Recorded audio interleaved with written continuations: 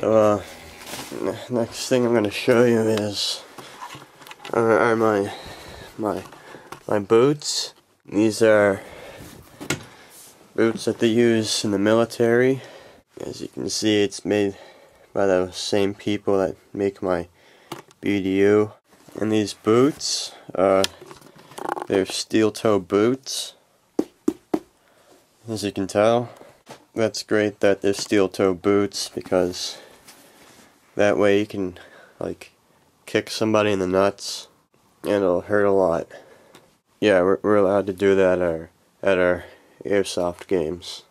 So, uh, next up is my helmet.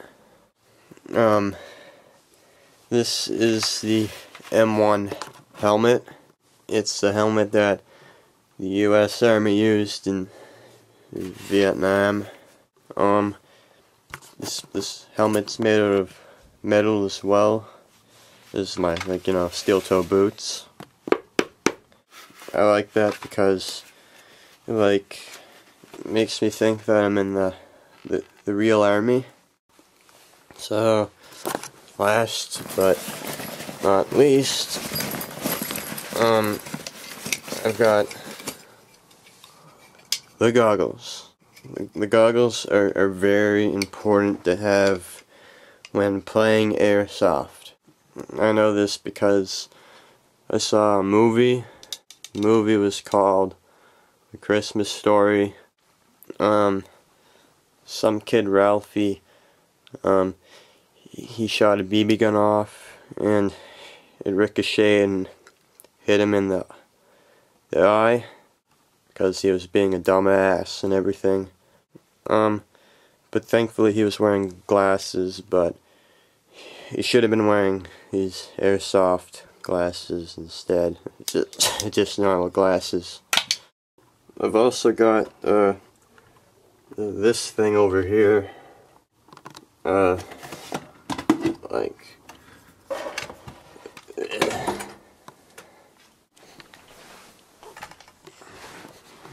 Um, uh, okay. Yeah, it's just that I, I don't really like, I don't really get this. Like, this thing's, like, it's a little too heavy, uh, and, like, I, I just, it's just, I don't know, it's too, like, my A, like, my ACOG scope doesn't, like, fit on it or anything, and I only have, like, one magazine that I can fit it.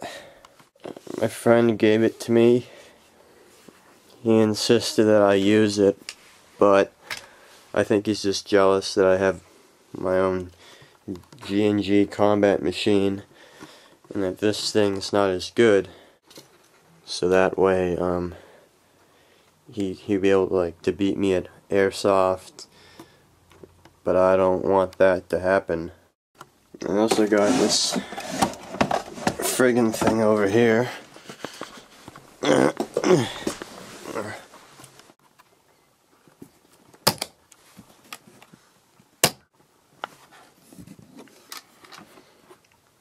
uh, um, um, yeah, I, I got this for my birthday. Uh, the, the FPS isn't as good on this gun. Plus like it uses gas and I like using CO2 you know because you get more FPS out of that. Like I really I really don't know what I'm supposed to do with it like uh I don't know what just happened there. I think this is the safety right here uh I'm not I'm not too sure. So yeah, this this isn't really like in my taste or anything like that.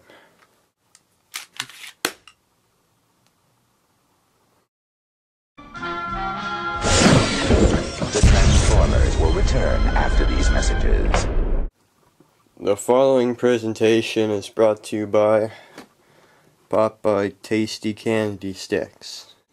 Really cool because they're tasty and they look like a pack of doobies at the same time.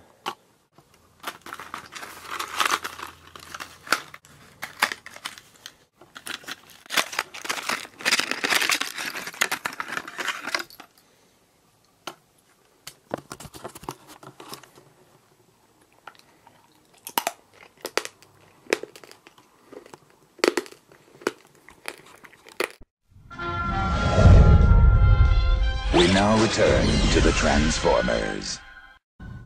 So now I'm gonna show you like what I look like with all my gear on. So uh, yeah, this is uh, what I look like with all my gear on and stuff.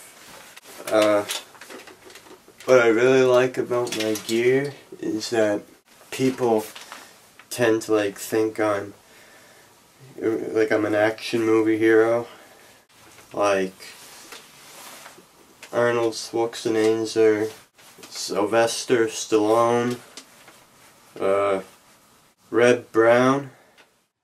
So I'm about to show you some footage of me in action. Uh, yeah, that's me right there, the big guy, big guy, yeah. Yeah, there's me. There's my combat machine. Yeah. Yeah, I'm just getting some kills right here. Yeah, this this is a pretty fun game. Uh, if this was filmed by uh, Scout the Doggy. Uh, and I, I was playing at Section 8 Airsoft. I recommend that you go there.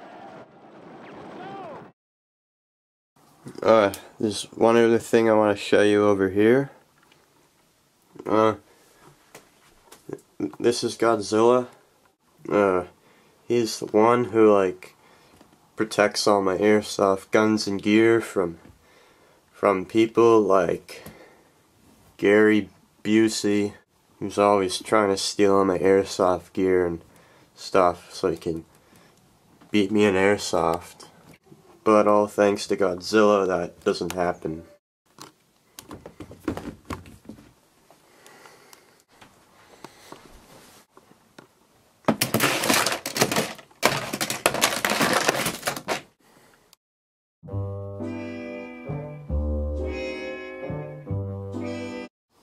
This over here is my L96.